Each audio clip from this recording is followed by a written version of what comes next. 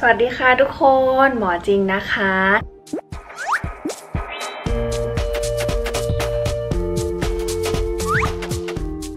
ในคลิปวิดีโอนี้นะคะ เนื่องจากว่าเดือนนี้เป็นเดือนกุมภาพันธ์ เดือนแห่งความรักนะคะ หมอก็เลยอยากจะมาทำวิดีโอเกี่ยวกับความรักนะคะ โดยคลิปวิดีโอนี้นะคะ หมอจะทำเป็นรีเมคนะคะ ก็คือเอาเนื้อหาเดิมในคลิปวิดีโอ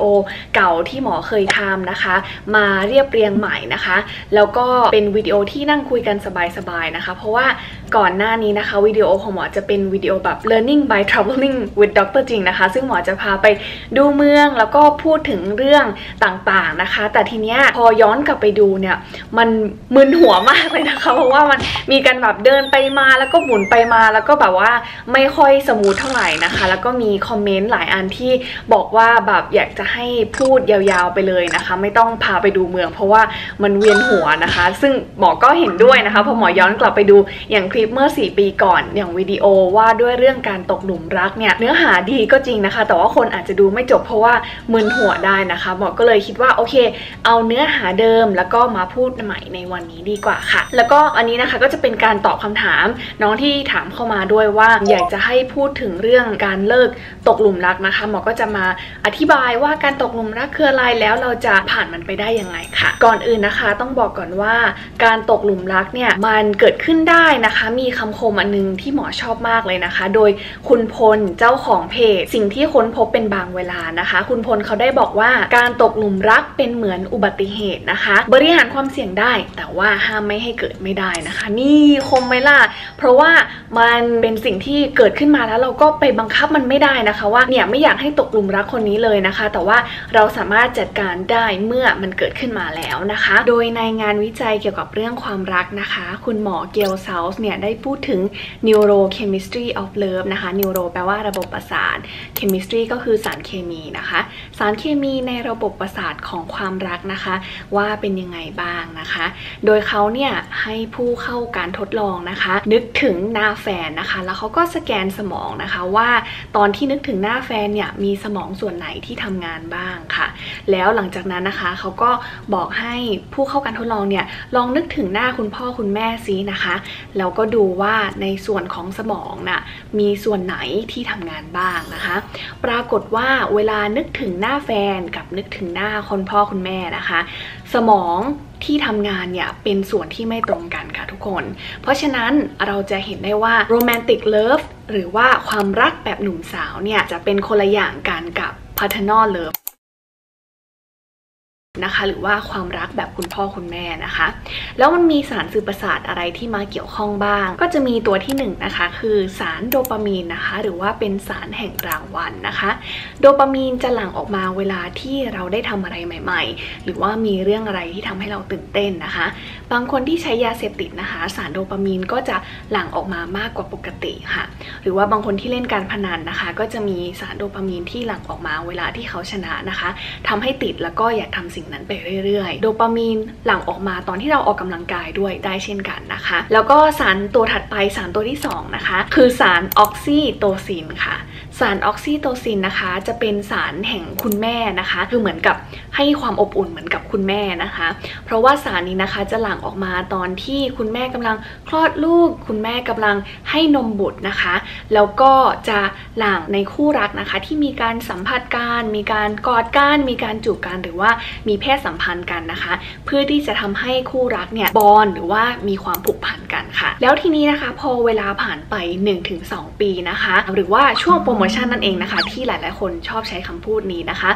สารโดปามีน หรือว่าสารแห่งความตื่นเต้นเนี่ยก็จะลดลงนะคะ นี่คือสาเหตุที่ว่าทำไมคู่รักนะคะ เมื่อเวลาอยู่กันไปนานๆ แล้วมันไม่ค่อยมีความรักกันหรือว่าไม่ค่อยรู้สึกตื่นเต้นเร้าใจเหมือนกับตอนใหม่ ๆ ที่เพิ่งเริ่มจีบกันนะคะ ก็เป็นเพราะว่าสารโดปามีนเนี่ยมันลดลงนั่นเองค่ะ แล้วนอกจากนี้นะคะ เวลาที่ผ่านไปเนี่ยเราเรายังเห็นข้อเสียของกันและกันมากยิ่งขึ้นด้วยนะคะทำให้สิ่งดีๆ ที่เราเคยมองเห็นในตอนแรกอาจจะลดลงลงไปนะคะ แต่ว่าไปโฟกัสอยู่กับข้อเสียของเขามากกว่าค่ะ นี่นะคะก็คือคำอธิบายที่ว่าทำไมเราถึงควรที่จะรู้จักกันให้ดีก่อนนะคะ ก่อนที่จะมีการแต่เนื้อต้องตัวกันหรือว่ามีเพศสัมพันธ์ที่เร็วเกินไปนะคะ เพราะว่าไม่อย่างนั้นแล้วเนี่ยสารออกซิโตซินมันจะหลั่งนะคะ แล้วมันก็จะทำให้เราเนี่ยสับสนว่าเรารักคนคนนี้ทั้งๆที่จริง ๆ แล้วเป็นสารสื่อประสาทที่ออกมาจากการแตะเนื้อต้องตัวการการสัมผัสจูบกอดนั่นเองค่ะ แล้วทีนี้นะคะเมื่อเรารู้ว่าโอเค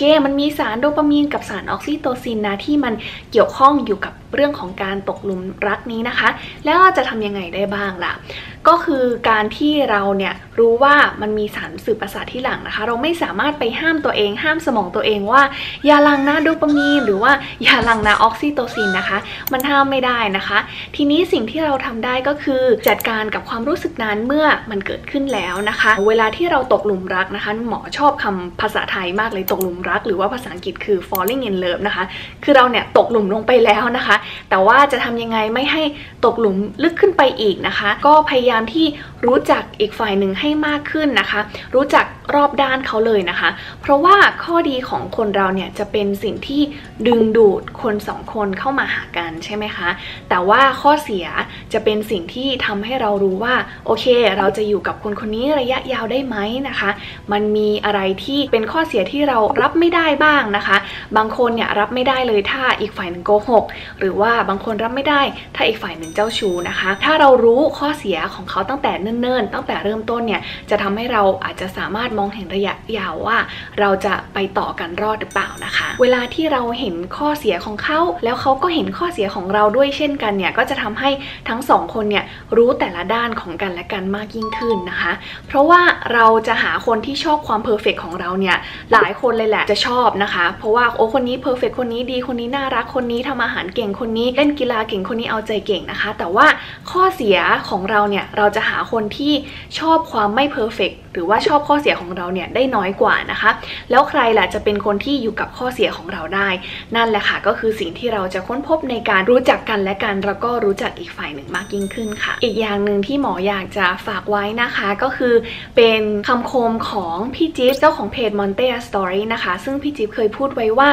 ผู้หญิงแพ้หูผู้ชายแพ้ตานะคะ ซึ่งหมอเนี่ยชอบคำนี้มากเลยนะคะคำว่าผู้หญิงแพ้หูเนี่ยบ่งบอกถึงว่าผู้หญิงนะคะจะชอบผู้ชายที่ปากหวานนะคะ พูดจาเก่ง แล้วก็พูดเพราะๆกับเรานะคะ แต่ว่าผู้ชายเนี่ยมักจะแพ้ผู้หญิงสวยนะคะ เวลาผู้ชายเห็นผู้หญิงที่สวยหน้าตาดีรูปร่างดี ผู้ชายก็จะตกหลุมรักได้ง่าย จากตรงนั้นนะคะ นี่คือที่มาของคำว่า ผู้หญิงแพ้หู ผู้ชายแพ้ตาค่ะ แล้วทีนี้พอเรารู้ว่าโอเค เราอาจจะตกหลุมรักคนที่พูดเก่ง หรือว่าผู้ชายจะตกหลุมรักคนที่สวยหน้าตาดีนะคะ แต่ว่าอย่าลืมว่าให้ดูการกระทำของอีกฝ่ายด้วยนะคะ ว่าสิ่งที่เขาทำเนี่ยมันตรงกับที่เขาพูดไหมอันนี้คือสำหรับผู้หญิงที่มักจะชอบผู้ชายพูดเก่ง แต่ว่าบางทีแล้วเขาอาจจะนิสัยไม่ดีหรือว่าการกระทำไม่ตรงกับคำพูดก็ได้นะคะ ส่วนผู้ชายนะคะ เราอาจจะเห็นผู้ชายบางคนที่พอเห็นผู้หญิงสวย แล้วก็เข้าไปจีบเข้าไปประเคนของเข้าไปพยายามที่จะทำทุกอย่างให้โดยที่อาจจะยังไม่รู้จักผู้หญิงคนนั้นดีพอนะคะ แล้วถ้าจีบติดแล้วยังไงต่อนะคะ ผู้ชายบางคนก็อาจจะเบื่อได้เมื่อได้รู้นิสัยที่แท้จริงของผู้หญิงคนนั้นว่าอาจจะไม่เข้ากันนะคะ เนี่ยแหละค่ะปัญหาก็จะเกิดขึ้นค่ะ เพราะว่าเราไม่ได้รู้จักอีกฝ่ายหนึ่งให้พอดีก่อนก่อนที่จะตกลงคบกันนะคะ ก็ทำให้ผู้ชายบางคน พอจีบติดแล้ว ก็เบื่อแล้วก็ทิ้งผู้หญิงไปก็มีเหมือนกันนะคะ ดังนั้นก็จำเป็นมากเลยที่ทั้งสองฝ่ายเนี่ยควรจะเรียนรู้แล้วก็ศึกษานิสัยใจคอของแต่ละฝ่ายให้ดีก่อนที่จะคบกันค่ะ เพราะการที่เราครบคนหนึ่งนะคะ เราไม่ได้เรียนรู้แต่ตัวเขาด้วยนะคะ เรายังเรียนรู้ตัวเราด้วยนะคะ ว่าเราชอบคนแบบไหนเราชอบให้เขาปฏิบัติยังไง หรือว่ามีนิสัยอะไรที่เขาไม่ชอบนะคะ เราก็จะเห็นตัวเองจากการคบอีกฝ่ายหนึ่งได้มากขึ้นด้วยนะคะแล้วเราก็จะเติบโตจากความสัมพันธ์นี้ยังไงนะคะ เพราะว่าแม้ว่าสุดท้ายแล้ว เราอาจจะไม่ได้ไปต่อด้วยกัน หรือว่าสุดท้ายแล้วอาจจะต้องเลิกกันนะคะ ความสัมพันธ์นี้มันทำให้เราเติบโตขึ้นยังไง เรารู้จักตัวเองมากขึ้นยังไง แล้วเราจะปฏิบัติต่ออีกฝ่ายยังไง ให้ความสัมพันธ์ครั้งหน้ามันดียิ่งขึ้นค่ะ อันนี้ก็จะเป็นเรื่องที่เราสามารถนำไปเรียนรู้แล้วก็ปรับปรุงตัวเองได้ค่ะ สรุปนะคะ ความรักเป็นเรื่องที่ดีนะคะ แล้วก็การตกหลุมรักเนี่ยเป็นเรื่องที่เกิดขึ้นได้อาจจะไม่สามารถห้ามได้ แต่ว่าจัดการได้นะคะ จัดการด้วยการดู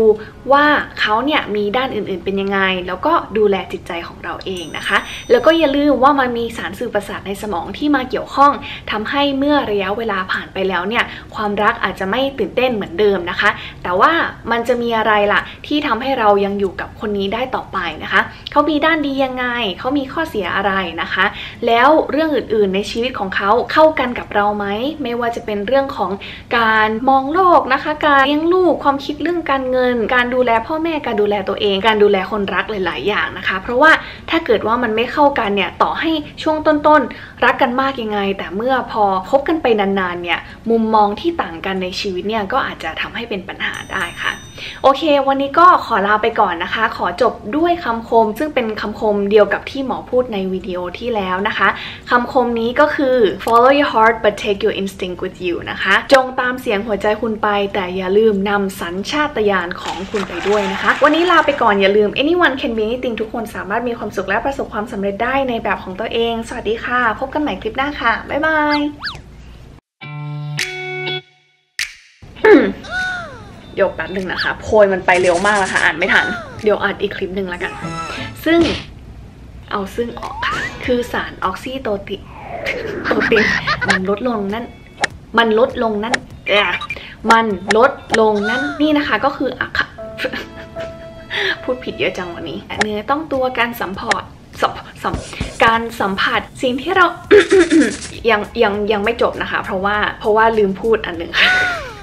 เอาเอาสรุปใหม่เอาสรุปใหม่ จงตามเสียงหัวใจคุณไป แต่อย่าลืมนำสันแต่จงตามเสียง จงตามเสียงหัวใจคุณไป แต่อย่าลืมนำสันตชาติสันสัญชาติ